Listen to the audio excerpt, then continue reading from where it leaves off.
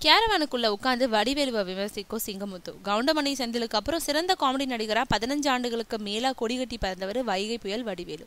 கருப்பு நாகேஷ்னு சினிமா கலைஞர்களால் புகழப்பட்டு வந்த அவர் அரசியல் சுனாமிக்குள்ள சிக்கினதுனால சில காலம் சிறகொடிஞ்சு போனாரு.